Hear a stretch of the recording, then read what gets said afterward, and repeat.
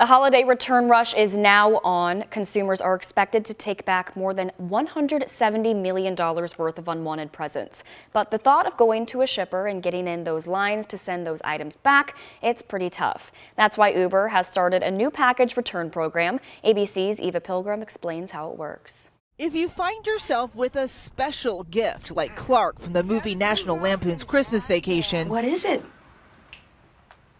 It's, it's a one year membership in the Jelly of the Month Club. Then now is the time to make those returns. It's a gift that keeps on giving. Companies like Uber are making what can be a daunting task easier with a new return a package feature, which they talk to us exclusively about. With returns, it's another hassle uh, for consumers today. And what we offer is that time savings. To see how it works, we gave it a try. Too small, sending it back. First, I package up my Amazon return, address too small for my daughter. Then open the Uber app as if I'm going to order a car, but instead hit this package icon. We've got a driver. 18 minutes away, it says. Once the driver arrives, I hand them my return package, and in this case, he takes it off to the local UPS store.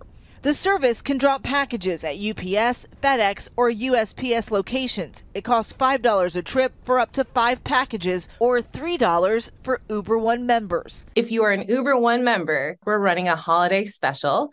It is free returns all the way through January 6th. Known for its food delivery, DoorDash is also getting in on the return game. The company offering deliveries to UPS, FedEx, and USPS. It'll cost you $5 a trip for up to five packages. But through December 30th, DoorDash is offering free package pickups for all users. For our return with Uber, the driver texted us when he arrived to the UPS store, and we were able to track his trip. Okay, I just got a notification that the driver has returned the package and he even took a copy of a receipt so that I can see that it was an easy return and one less errand to run.